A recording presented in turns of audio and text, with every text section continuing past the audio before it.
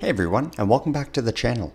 Today we'll be looking at an economic concept that is used quite literally in everyday life by every single individual on this planet. No, seriously, economics can actually be applied in everyday life, I promise. Everyone from the multi billionaires to the humble minimum wage employees, to the newborn infant born, well, five seconds ago, and to a person who's found themselves lost in the desert with no food or water. When I say everyone uses this, I mean everyone. Don't believe me? Well, I'll explain how each of these individuals use the concept at the end of the video, so stay tuned for it. The concept is known as diminishing marginal utility. And with that said, let's get right into it.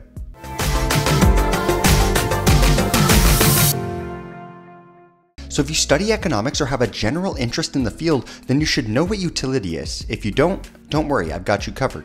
Utility is essentially the happiness or satisfaction that you get from consuming something. When we choose to purchase goods or services, we receive some sort of benefit from them, after all. If we didn't, then why would we be buying them? Now, there are things that we involuntarily consume which take away utility or bring us something called disutility, such as air pollution that we tend to breathe every day, but that's a topic for another time. For this specific video, we'll be using an example which focuses on a good that brings many, many people utility, and that is pizza. Now, for all you pizza haters out there, don't apologize. I, I apologize due to the differences in consumer taste, a product that pleases everyone and offers positive utility to everyone is quite simply non existent. But pizza is as close as we're gonna get.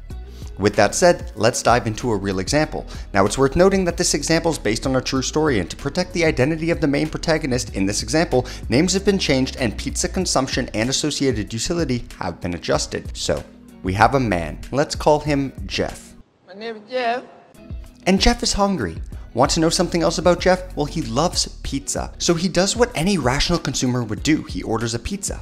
Once he gets his pizza, he opens the box to reveal one of the most beautiful Domino's pizzas he's laid eyes on, and then he proceeds to eat his first slice.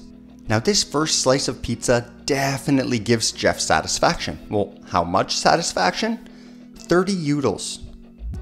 And now I know what you're thinking. Whoa, whoa, whoa, utils? Really, man? You've got to be making this up. And to you, I say, nope. A unit of utility is known as a util. They come from something known as an individual's utility function. Every individual has different preferences, and therefore one's utility can only be compared to the same person's utility for something else. So you cannot compare Jeff's 30 utils for his first slice of pizza to my 15 utils for my first slice, and then derive that Jeff likes pizza more than me. You can't do that. But what you can do is compare Jeff's 30 utils he receives from his first slice of pizza to his 2 utils he receives from a stalk of asparagus and derive that he likes pizza way more than asparagus. Utility is tied to the individual and therefore can only be compared with the same individual. Sound a little confusing? Well, if you want a video dedicated to consumer theory, utility theory specifically, then let us know in the comments and I'll make it happen. Anyways, where were we? Oh yes, so Jeff received 30 utils for that delicious first slice of pizza. But you know what's better than the first slice?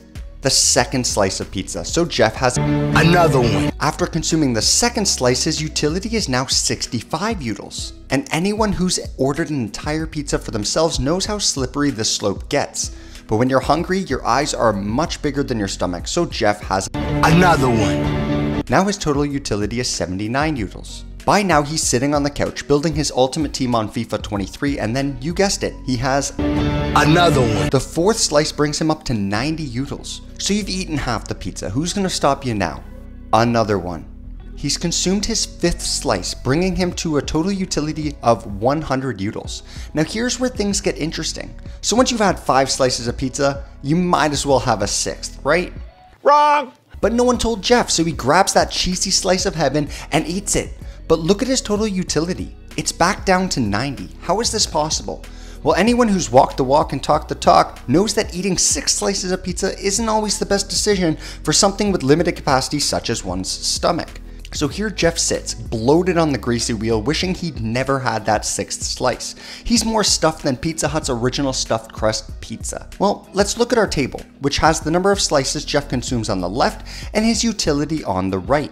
For those of you who are visual learners, don't worry, I've got you. One slice of pizza represents, well, one slice of pizza. And one happy face represents 10 utils because utility is satisfaction received from consuming a good and pizza makes Jeff happy. Each additional slice up to slice number 5 adds to Jeff's total utility. Well, what about marginal utility? Well, we define marginal utility as the increase in total utility from consuming one more good. So let's add a column to this table which includes the marginal utilities, shall we? Now, if you aren't sure how to calculate marginal utility from the first two columns, don't worry, it's easy. If the quantity goes up by one each time, which in this example it does, then it's even easier. As we go from zero slices to one slice, we gain 30 utils. As we go from one slice to two slices, Jeff gains 35 utils. Well, how do we calculate that? Well, you simply take the difference between your current total utility and the utility you had before consuming one more unit of the good. So 30 minus 0 is 30. 65 minus 30 is 35. 79 minus 65 is 14. 90 minus 79 is 11. 100 minus 90 is 10. And finally, 90 minus 100 is negative 10. So now that we have all of the marginal utilities in the table, it's easy to see that after his second slice, Jeff's marginal utility begins to decline. We call this diminishing marginal utility, and this happens because the value he receives from the first slice of pizza is high, because he's so hungry.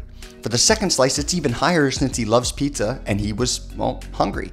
But as he continues to eat another slice, each additional slice doesn't bring him the same satisfaction as the previous slice. Eventually, he gets too full from eating additional slices that it actually makes him worse off.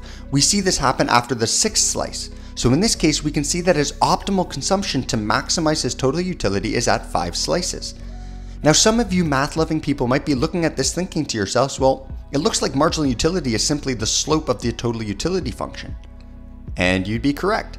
This means that total utility is maximized when marginal utility is equal to zero. Now, as I promised at the beginning of the video, I'll explain how everyone from multi-billionaires to humble minimum wage employees to the newborn infant born 5 seconds ago to the person who's found themselves lost in the desert with no food or water experience diminishing marginal utility. Starting us off with Elon Musk. When he made his first million, it's safe to assume that he must have been ecstatic.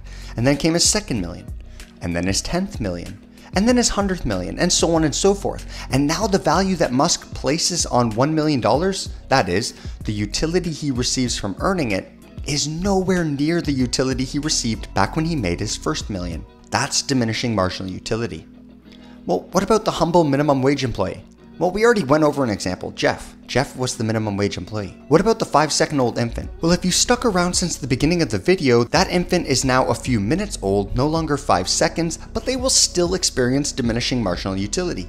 When a baby is born, it needs to be wrapped in warmth. The initial warmth the baby receives increases the baby's total utility, but too much warmth or heat is not good, and so the total utility will begin to fall after the optimal level. Speaking of too much heat, how about Buddy who got lost in the desert? Well, I'm sure he'd appreciate some water, right? That first sip must feel amazing on his parched lips, but give a man a bottle of water, he drinks for a few seconds. Give a man too much water, and he develops hydrophobia. Somewhere in between those two extremes is the ideal amount of water that maximizes our lost traveler's total utility. So there you have it. Now we've covered diminishing marginal utility. If you want to see more videos on utility theory, let us know. If you enjoyed the video and found it useful, let us know by liking the video, subscribing to the channel, and comment in the comment section below. Thanks for watching this video, and we'll catch you in the next.